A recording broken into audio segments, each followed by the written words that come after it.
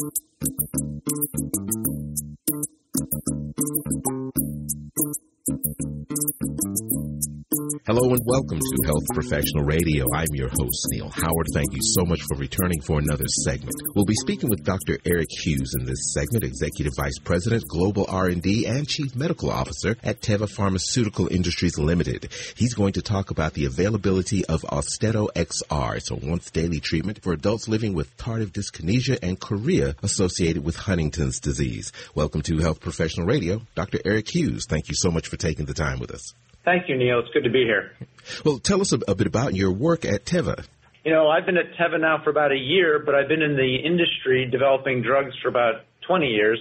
Um, I always like to say that I was a geek when I was a kid and got into science, and that brought me into, you know, a, a career in medicine.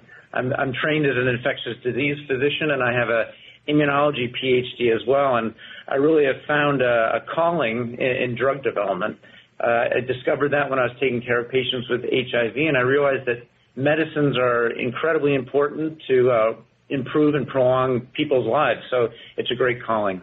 Tardive dyskinesia and chorea, uh, both associated with Huntington's disease. It's my understanding that they're two relatively rare diseases. Can you tell us about these diseases and how they uh, usually manifest in patients? Yeah, so there's there's two uh, components here. There's Huntington's disease, which is a disease of, that affects about you know 30,000 people in the U.S. And of those people who have Huntington's disease, about 90% of them have chorea associated with their disease. Um, and this is, uh, causes uh, involuntary and random movements and really impacts their day-to-day living. You know, tardive dyskinesia is a, is a movement disorder associated with uh, a number of different treatments that we, uh, physicians use every day, including uh, antipsychotics, uh, antidepressants, and antiemetics. And this actually affects uh, quite a few number of people. Uh, there's about 785,000 people in the U.S. who actually have tardive dyskinesia, but only about 120,000 of those people are actually diagnosed. Do we have a, a clear understanding uh, as to what it is about some of these drugs that causes TD? Yeah. So basically what it comes down is to the, the level and the, the, the uh, homeostasis, you know, the balance of dopamine in the brain. So both uh, Huntington's disease and the effects of some of these treatments we give to, say, schizophrenia causes an imbalance in the dopamine levels. And uh, what Austedo does is it uh, blocks the, uh, the release of uh, inappropriately high levels of dopamine in the brain, so it brings back the balance – of the dopamine. And that balance of dopamine in the brain then controls these uh, random movements uh, to a certain extent. Now, it's my understanding that Austedo was already available as a twice daily option for uh, people suffering with this condition. Now, the FDA recently approved a once daily treatment for adults with TD and HD chorea called Austedo XR. Can you explain uh, the differences between, you already mentioned Austedo and Austedo XR, if you would? So that's an important uh, uh, evolution in our uh, development of the drug. So first and foremost, we're happy that you know Austedo given twice a day has a, good um, efficacy and safety profile, and it can treat people with both Huntington's disease with chorea and tardive dyskinesia. But many of these patients are on other medications. So the ability to make it more convenient for people is very important. Adherence in many of these, these uh, indications is very important. And by making a, a, the drug go from twice a day to just once a day makes it much more convenient and will increase that adherence to the treatment. You mentioned that some of these patients are on other treatments as well. How seamless a process is it to, to use Austedo XR and some of the other medications that a person may be on? So let's um, use schizophrenia as an example. So schizophrenia can be a devastating disease, not only for the the patient who has to suffer, you know, with difficulties, you know, keeping a job and interacting with society, but also their their family.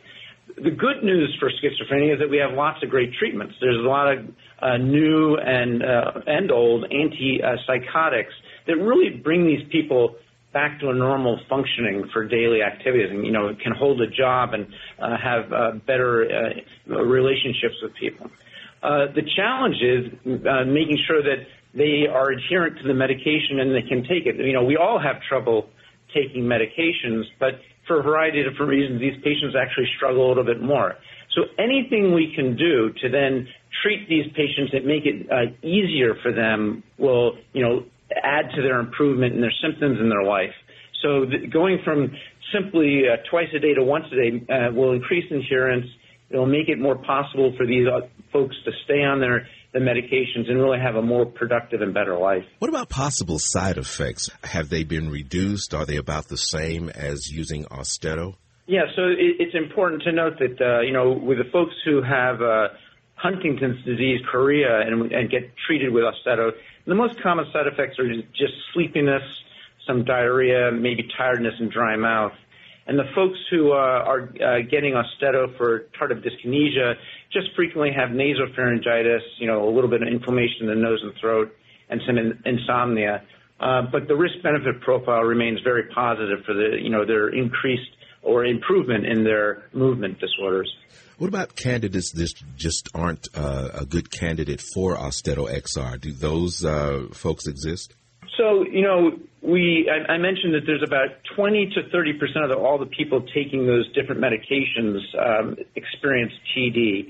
Um, you know, it's going to be mostly a lifestyle uh, modification. It's very difficult to you know live your life with these mo- uh, these uh, involuntary motions. Like, for example, just drinking a cup of coffee for some folks can be very difficult because of the jerkiness, or you know, even walking sometimes is uh, complicated for folks with chorea associated with Huntington's disease. So there are some modifications you can do, but you know, controlling the jerkiness is probably key for those folks. If you can't tolerate I think it's mostly uh, daily modifications of how you live your life. You know, getting around and you know, trying to drink uh, with straws or things like that. So simple modifications are the best alternative.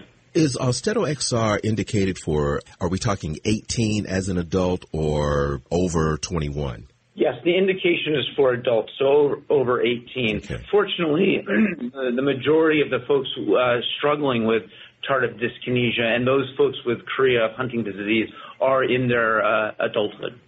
So, you know, we're really excited um, about this development of Austedo XR you know, Teva has really been committed over the years. We have a long history in treating uh, patients with mental health conditions, and this really is uh, emphasized by our, you know, our investment in clinical research and innovation. I, I mean, I love my job. I love doing drug development here at Teva. Um, I think it's very important, you know, like what we're doing today is to raise awareness about uh, tardive dyskinesia and chorea associated with Huntington's disease and make sure that physicians and patients know that there are treatments available that can improve their symptoms.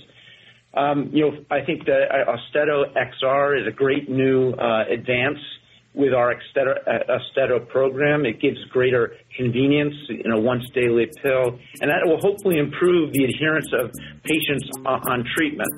Uh, you can you can learn more about it at uh, austedo.com, where there's a, a, variety of different information about Austedo XR and you know the conditions it treats. Doctor, I appreciate your time. Thank you so much, and hopefully you'll return.